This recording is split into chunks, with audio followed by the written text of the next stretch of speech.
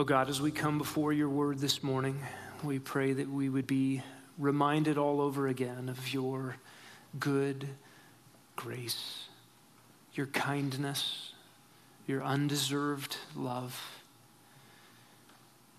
May we be confronted all over again with what it is that we deserve and what it is that we get instead. We're humbled by these things, humbled by your grace, brought low by your kindness, and exalted in your love. May you be glorified this morning as we hear your word. And we ask it in Jesus' name. Amen. You may be seated. A little bit of a roadmap for us this morning. We're going to be in part two of what we started last week uh, Romans 9, uh, verses 24 to 29. And then next week, Josh Kelso will be finishing the book of James over the next two weeks, and then we'll be back in Romans for a little while. I want to read to us again Romans 9, 24 to 29. Paul writes, Us, prepared beforehand for glory, vessels of mercy, us whom he also called, not from among Jews only, but from among the Gentiles also. As he says also in Hosea, I will call those who were not my people, my people and her who is not beloved, beloved. And it shall be in that place where it was said to them, You are not my people, there they shall be called sons of the living God. Isaiah cries out concerning Israel Though the number of the sons of Israel be like the sand of the sea, it is the remnant that will be saved. For the Lord will execute his word on the earth thoroughly and quickly. And just as Isaiah foretold, unless the Lord of Sabaoth had left to us a posterity, we would have become like Sodom and we would have resembled Gomorrah. This passage is all about what Jews and Gentiles learn from God's dealings with Israel. And we introduced the three sections of this last week. Number one, that God has a heart and a plan to save Gentiles. Verse 24, God called, that is effectively called people unto salvation, not only from Jews, but also from Gentiles. And in verses 25 and 26, we learned that God saves contrary to merit, and he uses Israel as an example. He quotes from the book of Hosea and he describes Israel's past, present, and future in Hosea. And Paul uses that as an illustration of God's heart towards sinners. That Israel, who was God's people, was so committed to her idols, so committed to saying, I don't want to belong to God. And God at one point said, Okay, I'm not your God, and you're not my people. What, what a tragic judgment. And then God says to that same people, You who were not my people will be my people. And God makes the promise to Israel that he will one day bring about their restoration and repentance a physical restoration and spiritual repentance. It's interesting that God says that those who are not his people will be called sons of the living God. Uh, that is a contrast to all the dead and false idols that they went after generation after generation. And we come to verses 27 and 29, and God continues using Israel as an illustration to promote this point God keeps a remnant. That's what we'll be looking at this morning. God keeps a remnant. And what Jews and Gentiles learn from God's dealings with Israel is that God has and always does have a heart to keep a people for himself. And we're going to subdivide this last point into three points this morning. God keeps a remnant. Let's look together at verses 27 to 29. Paul says, Isaiah cries out concerning Israel, though the number of the sons of Israel be like the sand of the sea, it is the remnant that will be saved. For the Lord will execute his word on the earth thoroughly and quickly, and just as Isaiah foretold, unless the Lord of Sabaoth had left to us a posterity, we would have become like Sodom and we would have resembled Gomorrah. God keeps a remnant. This text this morning is a series of quotations from the prophet Isaiah. Last week we looked at Hosea. Isaiah and Hosea were contemporaries. Uh, Isaiah primarily was a prophet to the southern tribes of Israel, although uh, much, much of his message goes beyond. Isaiah, like Hosea, was given children whose names would resemble and reflect Isaiah's prophetic ministry. You remember the unfortunate names that Hosea was to give his children. Isaiah had at least one better name. Um, Shear Jashub was the name of Isaiah's son. It may not quite have the ring to it you were thinking of for your next child, uh, but it has a good meaning. It means a remnant will return. It's a hopeful name rather than some of the other names prophets were given. And this morning, we're going to need to keep our finger in Isaiah as we examine this section of Romans. The first thing we want to see this morning in the reality that God keeps a remnant is that remnant theology is a message of both warning and hope. Remnant theology is a message of warning and hope. And a really interesting exercise sometime is to take out a concordance and your Bible and just look for the word remnant and trace it through the scriptures. See what God is doing with a remnant. There is a whole remnant theology in your Bible. And it is a theology that speaks not only to God's dealings with Israel, for whom that most often refers, but it speaks to the very heart of our God. And it's an encouragement to you and I when we're tempted to think we're the only ones being faithful. Student, if you are the only Christian student in your school, in your class, on your sports team. You need to have a remnant theology. You who are at work and you're the only believer you know in your office, you need to have a remnant theology. And you moms at home surrounded by those beautiful bundles of depravity, sometimes you need to have a remnant theology.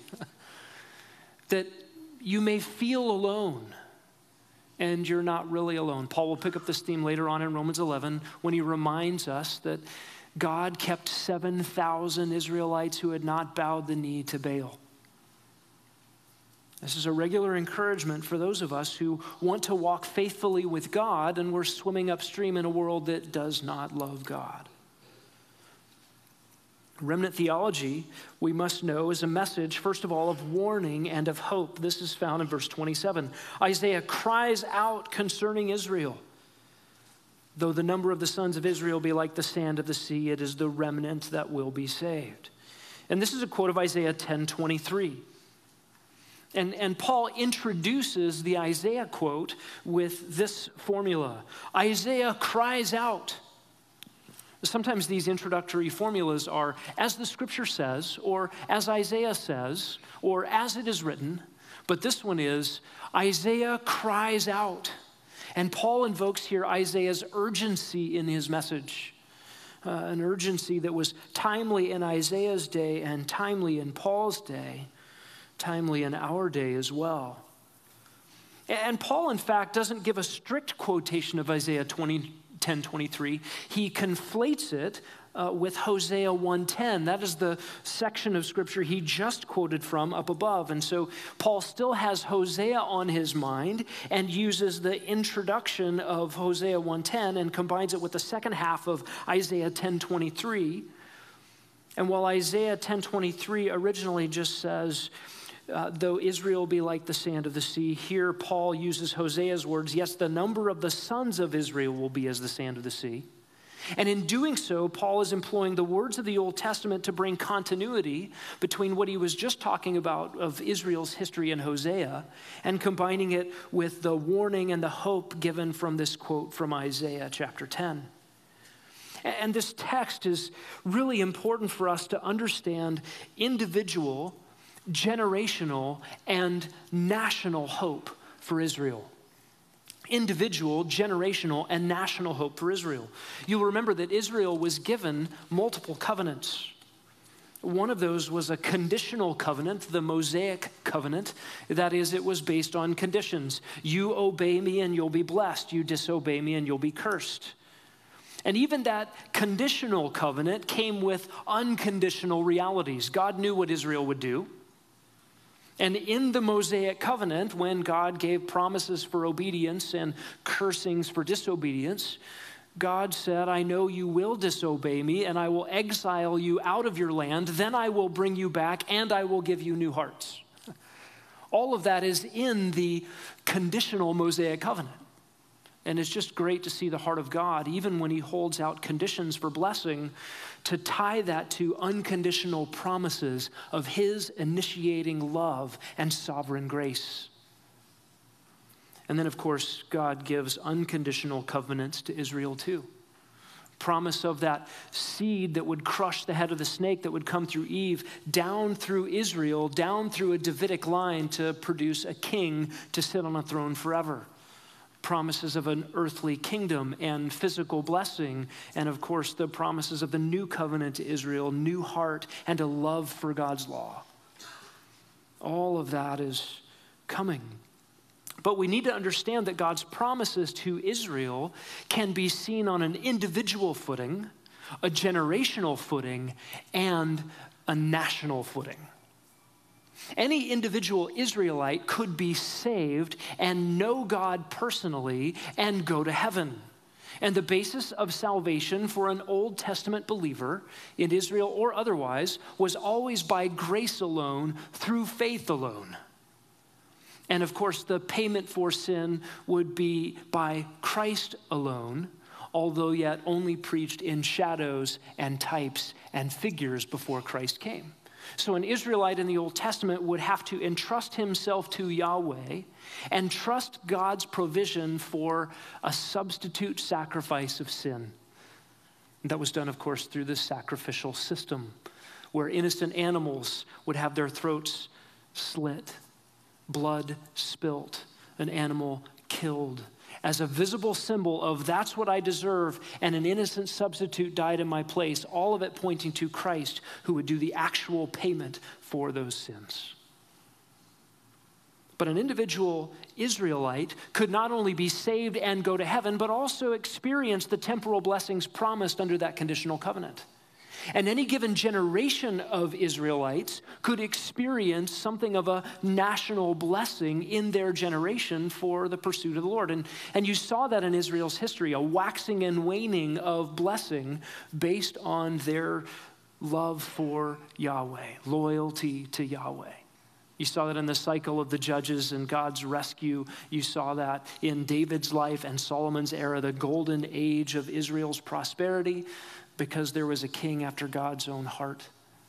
You saw that at times in subsequent kings with the recovery of God's word and a stay of judgment. But all of that, of course, culminating in Assyrian and Babylonian exile as the nation kept reverting to idolatry on a national level, generational level, and being removed from the land. But there is also a national salvation promised to Israel that is yet future. Paul is building towards that argument. We'll get to that in Romans 11.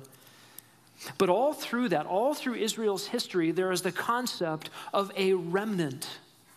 A remnant being saved. And remnant is simply a remainder, that which is left over, a small minority amongst the masses that God takes credit for preserving. The doctrine of the remnant is those who remain faithful to Yahweh by God's grace. And so the concept of a remnant being saved is a message, and it's a message both of warning and of hope.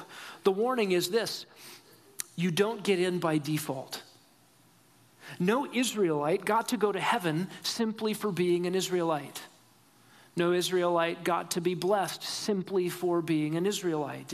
You don't earn the favor of God by your lineage because you're of a certain race. In fact, every account, every individual is accountable to God for sin.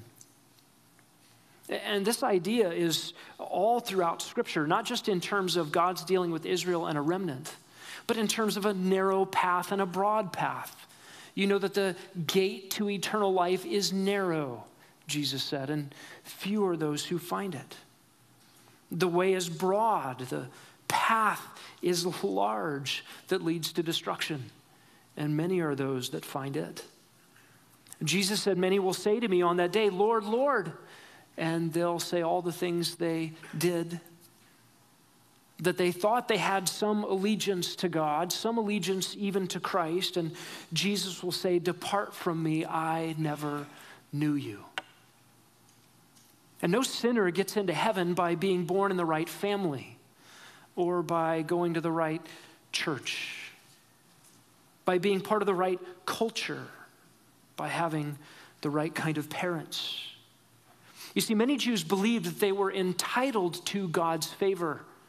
And much of the book of Romans is a clear explanation of the gospel that destroys any such notions. The uh, theology of a remnant does away with this kind of idea that you're just in because of who you are. My wife Janet is reading a biography of Selina Hastings, Countess of Huntingdon. She was a woman of English nobility class in the late 1700s, and she became a behind the scenes support, theologically, financially, and in much encouragement, of the First Great Awakening in England and then in America. She was often listening to and inviting countless others to listen to the preaching of the gospel in open air preaching in a time where the churches had mostly forgotten it. Now, this was the era of John and Charles Wesley. We sing some of their hymns, and of George Whitefield, the great first great awakening preacher in America. She received a letter from the Duchess of Buckingham. Uh, you might recognize that name. Her husband financed the construction of Buckingham Palace. She was a lady of much importance. Selina Hastings had invited the Duchess to listen to the gospel being preached in these open air meetings. The Duchess replied in a letter I thank your ladyship for the information concerning the Methodist preachers, speaking of um, John and Charles Wesley. Their doctrines are most repulsive. They are strongly tinctured with impertinence and disrespect towards their superiors, in perpetually endeavoring to level all ranks and do away with all distinctions. It is monstrous to be told that you have a heart as sinful as the common wretches that crawl on the earth. This is highly offensive and insulting. And I cannot but wonder that your ladyship would relish any sentiments so much at variance with high rank and good breeding. I apologize that I could not do that in a nice British accent with a cup of tea. But this idea that one would think him or herself above the hoi polloi and somehow deserving of God's favor because of who they were, because of social status, because of class, rank, ethnicity, or anything else, is a tragic, satanic deception that keeps people from life and the good news of the gospel. Depravity levels all ranks, and God's grace in the gospel levels all ranks. We all have that heart.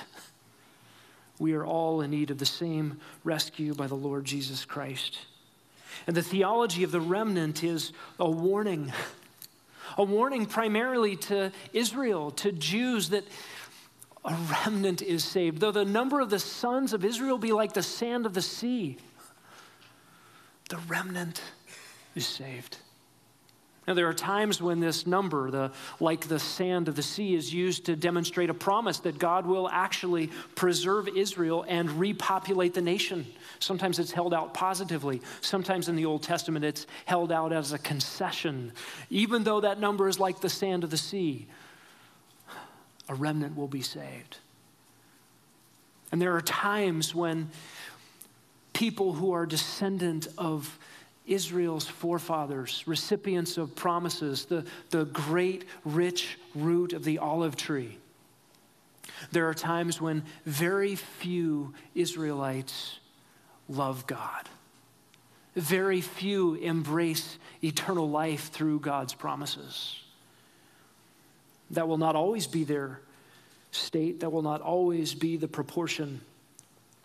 But this theology of a remnant is a warning it's more than that, it's also a message of hope. It is the promise that some actually will be saved. And, and notice the word saved there in verse 27. Paul has changed Isaiah's wording. Isaiah has the word return. Uh, and Paul changes it to will be saved. And, and the Hebrew word return in Isaiah is the word for to turn or return. It's a word often used for repentance. It can describe a spiritual turning accompanying genuine salvation. But it can also refer to geography. I'm going to return home from vacation or return from the exile in Babylon and Assyria. The return was often equated with that return from Babylonian and Assyrian exile for Egypt, I mean, for Israel. But Paul wants to make clear that what he has in mind here is a return to the Lord, a return to Yahweh. And while Isaiah portrays both a physical return from exile into the land, he also, in many cases, demonstrates a future return from a future exile into the land, accompanied by a national spiritual return to Yahweh in repentance. We don't have time this morning to read the entirety of the book of Isaiah. I would commend it to you. But I would like to look at a couple of highlights. You read Isaiah chapter 1 and God cries out against his people. Alas, verse 4, sinful nation, people weighed down with iniquity, offspring of evildoers, sons who act corruptly. They have abandoned Yahweh, they have despised the Holy One of Israel, they have turned away from him. Where will you be stricken again as you continue in your rebellion? In other words, God is saying, What do I have to do to get your attention? And what a tragedy.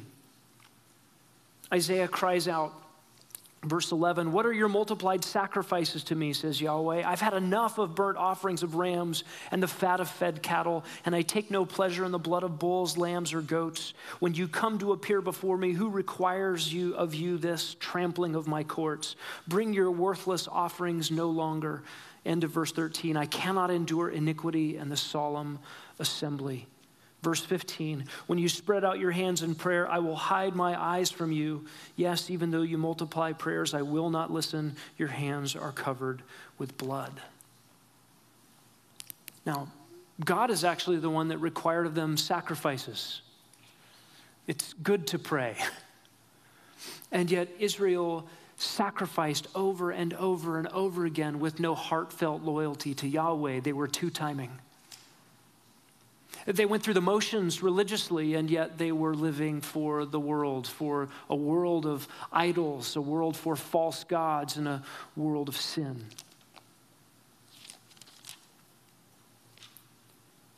Look down at verse 27 of chapter 1. Uh, actually, look at verse 18. God invites them graciously, compassionately, in spite of their sin. Come now, let us reason together, says Yahweh. Though your sins are as scarlet, they will be white as snow. Though they are red like crimson, they will be like wool. What a remarkable, undeserved offer. And then God makes a promise, verse 27 Zion will be redeemed with justice, and her repentant ones with righteousness. Look down in chapter 2. Now it will come about that in the last days, the mountain of the house of Yahweh will be established as the chief of the mountains and will be raised above the hills. And all the nations will stream to it, and many peoples will come and say, Come, let us go up to the mountain of Yahweh, to the house of the God of Jacob, that he may teach us concerning his ways, and that we may walk in his paths. For the law will go forth from Zion by the way, Zion is God's affectionate term for Jerusalem. In Isaiah 1, we're going to see this in a few moments, God calls Israel Sodom. But here in his promise for the future, he calls Jerusalem Zion. Everywhere that's used, God, that's God's term of endearment for the beloved city. It's a term of grace. The law will go forth from Zion and the word of Yahweh from Jerusalem, and he will judge between the nations. He will render decisions for the peoples, and they will hammer their swords into plowshares and their spears into pruning hooks. Nation will not lift up sword against nation, and never again will they learn war. What a remarkable set of promises. It's just like what we looked at in Hosea last week that accompanying Israel's spiritual national renewal, in keeping with God's purpose and promise, is a coming era of world peace, of physical prosperity, and of Israel's unfeigned loyalty to God. Listen, these are things only God could bring about. Who could turn a heart devoted to idols into a heart that looks like this? Only God by his sovereign grace. These are the same things that Paul will get us to in Romans 11. Secondly, this morning, we need to see that remnant theology is grounded in the purpose of God. Remnant theology is grounded in the purpose of God. This takes us to verse 28 of Romans 9. For the Lord will execute his word on the earth thoroughly and quickly. This is a quote of Isaiah 10:23. Paul is continuing Isaiah's argument for a complete destruction, one that is decreed, says Isaiah, the Lord Yahweh of hosts will execute in the midst of the whole land. And I would give my translation of Isaiah 10:23 this way. For the Lord Yahweh of hosts will accomplish in the midst of the whole earth a completion and a determined end. Remnant theology is grounded in the purpose of God, and, and God's purpose is both to save and to judge. And the accomplishment of God's purpose is what is in view in Romans 9 28. In, in the quote from Isaiah 20, 10 23, God is called the, the Lord Yahweh of hosts, and hosts is simply the word for armies. Uh, sometimes armies of angels, sometimes armies of stars.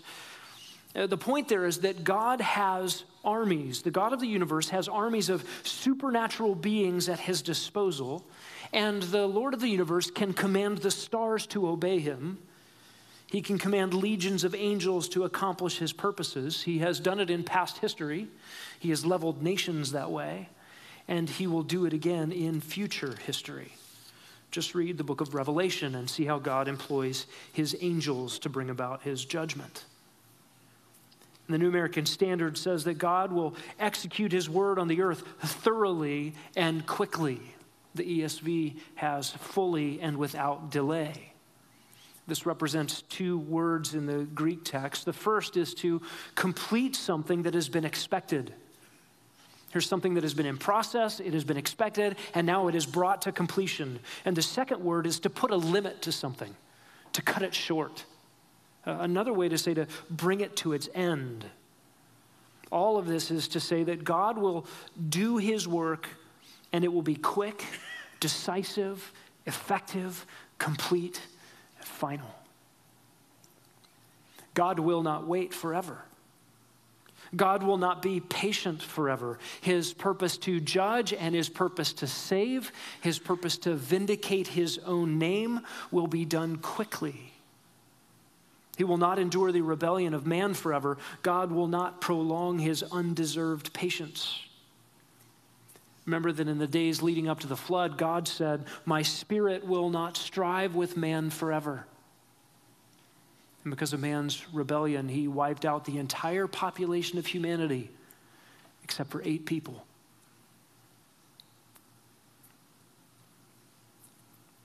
In what sense are God's acts of judgment and salvation and vindication done quickly? In what sense are they done quickly for the unbeliever?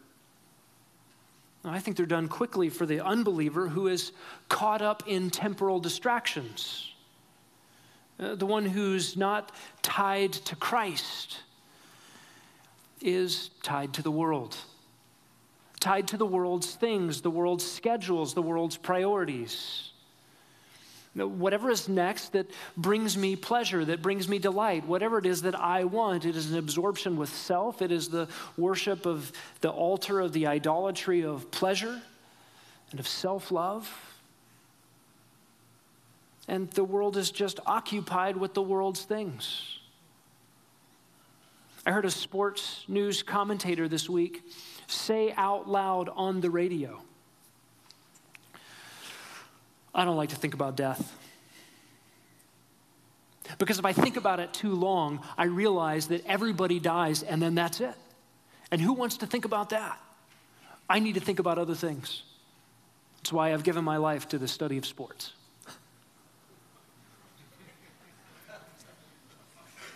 What an admission. He knows he's going to die. And for him, if he does not turn, the Lord's judgment, salvation, and vindication acts will come quickly, suddenly, unexpectedly. You know, if you're delinquent on your taxes, you say something like, It's April 15th already? Did somebody move the calendar? Did this accelerate? What happened? If you're a student, the, the midterm exam is today. It came suddenly, quickly. It, it, it wasn't any faster than was scheduled, it came right on time. But it seems sudden and quick to those not prepared. In Noah's day, they were marrying and giving in marriage. Sodom and Gomorrah faced a sudden, unexpected destruction. And when King Jesus returns, the unbelieving world will be caught unawares and unprepared. And it's easy to understand the lack of preparation. We understand the principle in Ecclesiastes 8:11 because the sentence against an evil deed is not executed quickly therefore the hearts of the sons of men are given more fully to do evil. If you don't get immediate consequences for your crimes you're going to pile up more crimes. The truth is God's patience is assumed to be his non existence. Or his patience is assumed to be his tolerance. Or his patience is assumed to be his endorsement. And the reality is Romans 2:24 makes it clear that men are storing up God's wrath against themselves for the day of his wrath when his righteous judgment will be revealed. And the illustration Jonathan Edwards gave to explain Romans 2:24 is the patience of God is like a great earthen dam holding back a large body of water and every time a sinner sins he's throwing more water behind the dam thinking that it's safe there. The dam will burst, God's wrath will be unleashed and the sinner will be swallowed up by it. That patience, that kindness, is not a tolerance of sin. It is not a letting bygones be bygones. It is a waiting for a day of reckoning. It is also indeed the patience of God waiting for people to repent, giving people an opportunity to believe, to turn, to find mercy while there is still time. In what sense are God's acts of judgment, salvation, and vindication done quickly for the believer? For the believer who lives her life waiting, enduring hardship, physical, emotional trials that aren't changing, circumstances that won't yield. Uh, for a believer facing the same difficulty day in and day out, crying out in prayer, How long, O Lord? How does this come quickly for Christians all around the world today under persecution?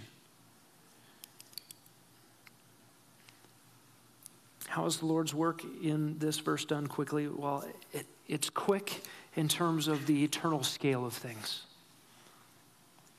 Right? If we do the math on how big eternity is compared to how long this life is, we understand that the Lord's return is quick.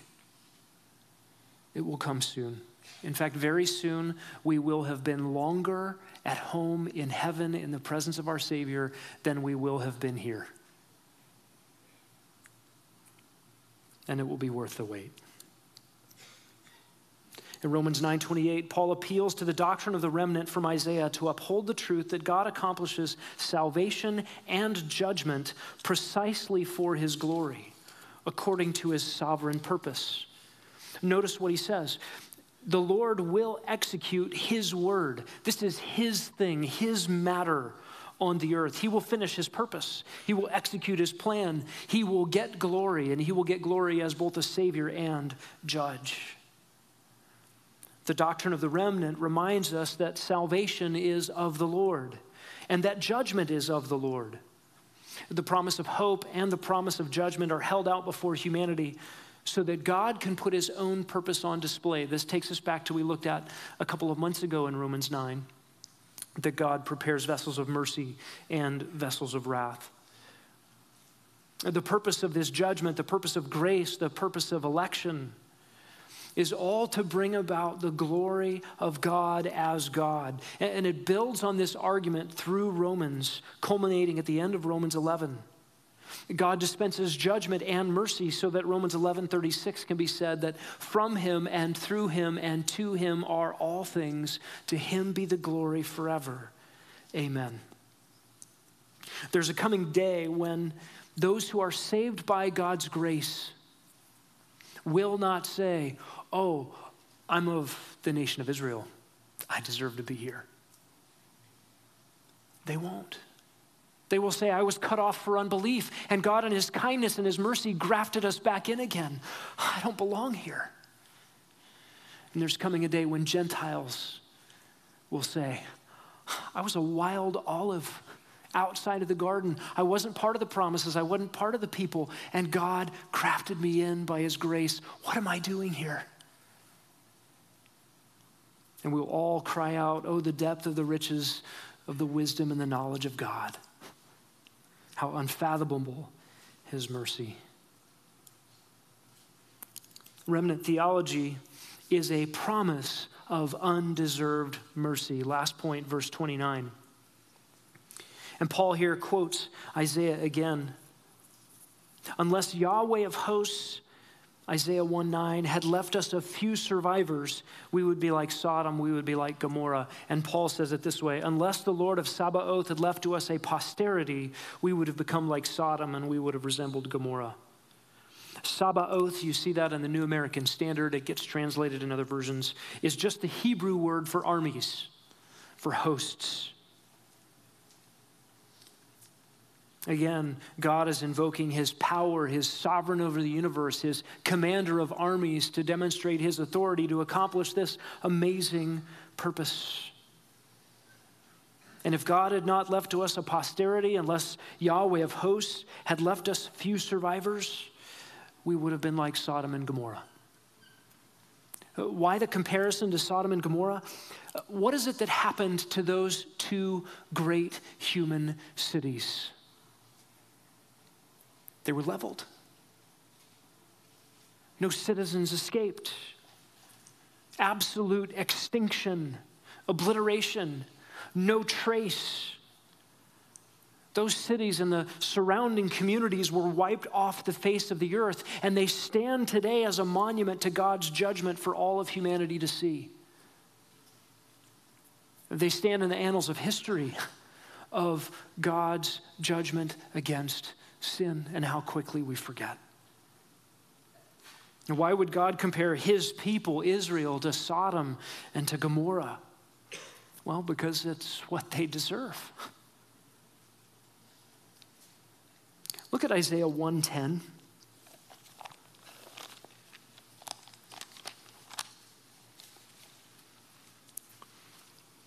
This is Isaiah to Israel right after he says, Unless Yahweh of hosts had left us a few survivors, we would be like Sodom and we would be like Gomorrah. Hear the word of Yahweh, you rulers of Sodom. Give ear to the instruction of our God, you people of Gomorrah.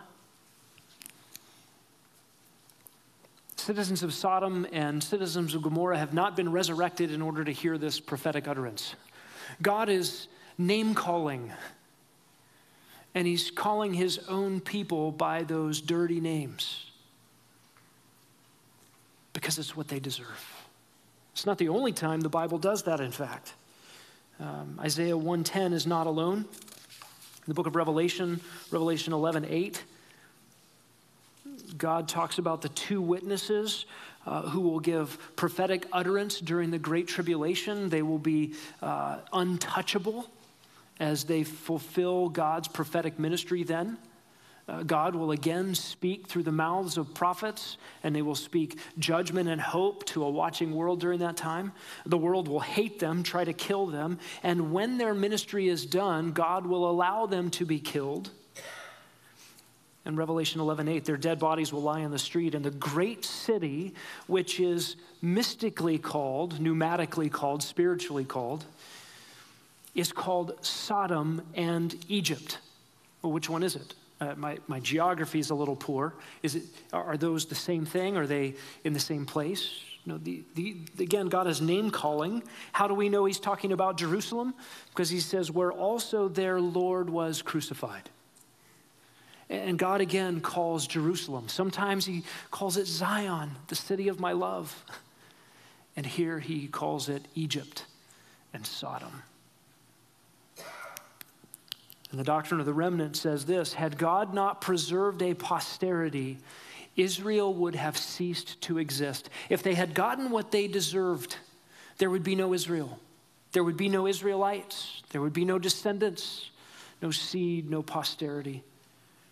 The simple existence of ethnic Israel to this day, despite Israel's penchant for idolatry and rebellion. And despite the history of Israel's enemies who have attempted to exterminate them time and again, their very existence is a testament to God's promise of a remnant. In Romans 9:28, the word posterity is the Greek word for seed. And, and this is intentional in the Apostle Paul. The seed promise is a promise of restoration, of spiritual revival, of promises kept. And I want you to see this in Isaiah. We're going to skip it. Uh, Isaiah 127, Isaiah 2, 2 through 4, Isaiah 2, 11 to 12. And then, really, throughout the rest of the book, the, the whole book is about God's coming judgment and his restoration for the nation. You see, what happened with Sodom and Gomorrah is what we all deserve. It's what we all deserve, not just Israel not just God's nation that was committed to idolatry.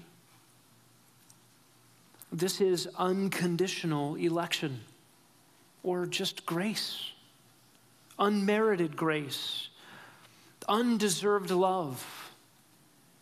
Out of love, God takes the initiative with sinful, rebellious creatures. It was sovereign goodness that saved any Israelites just as it is sovereign goodness that saves any Gentiles. Thomas Schreiner writes No one can legitimately complain that the preservation of a remnant justifies a complaint against God. The saving of any is mercy. Those who grumble against a God who refuses to save, those who grumble against a God who refuses to save all, reveal that they believe that God should save all, and that salvation is not a merciful gift of God, but a necessary part of God's contractual obligations to human beings. In this kind of theology, praise will shrivel up because no one is thankful when God merely gives what he should. It's the fundamental difference between grace and works, between merit and faith. Does God love the undeserving and rescue the sinner? Or does God have to give you what you earned?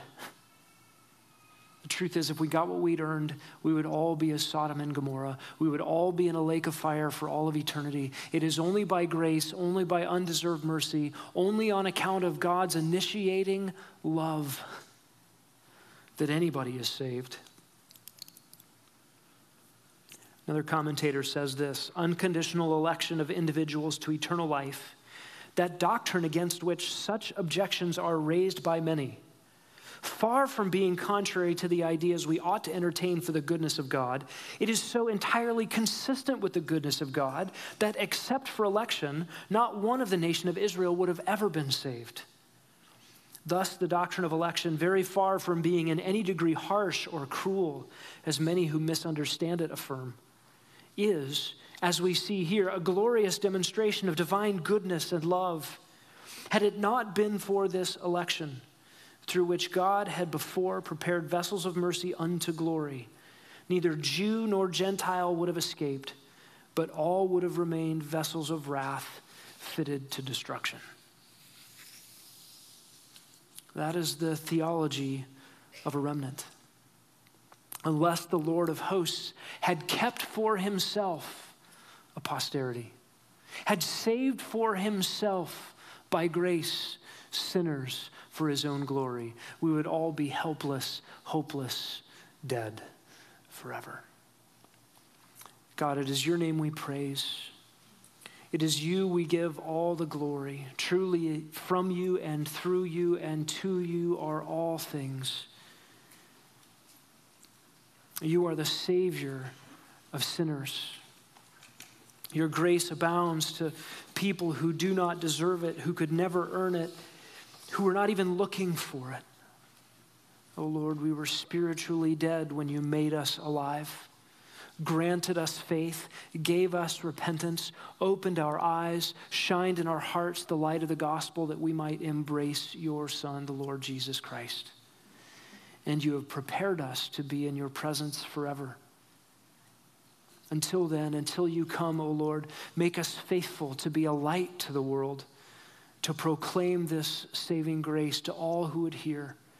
And would you be pleased to continue to raise up many, our friends, family members, co-workers, neighbors, to the truth that you have brought us to, to the love that we know. In Jesus' name, amen.